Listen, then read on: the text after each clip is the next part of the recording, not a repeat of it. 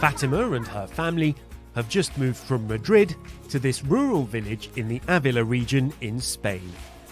Until recently, she was living in her mother's small apartment with her partner and their seven children.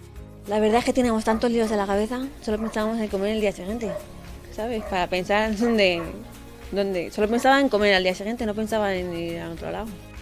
Thanks to a charity that helps struggling families, her partner found work in the building trade, and they started a new life in the countryside. La verdad es que aquí te sientes libre, ¿sabes? Y ahora mi pareja está trabajando, pues puedes pensar qué vas a hacer el mes que viene, ¿sabes? Tienes un sueldo fijo, te ayuda, te trae, tiene un huerto, te trae comida para los conejos, los animales, en todo lo que puede te ayuda. Spain, like the rest of the EU, is facing major demographic shifts. Cities are growing more crowded, putting a strain on infrastructure like schools and hospitals, while rural areas are depopulating.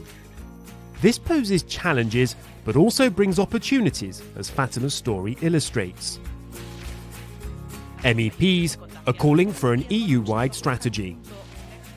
În general, populațiile se mută ca urmare a faptului că își doresc o viață mai bună. În acest context, este foarte important pentru noi, ca și responsabili politici, de a identifica mecanismele prin care aceste persoane să rămână mai departe în zonele în care acestea s-au născut, pentru că altfel asistăm la niște de dezechilibre majore la nivelul Uniunii Europene sub aspect demografic.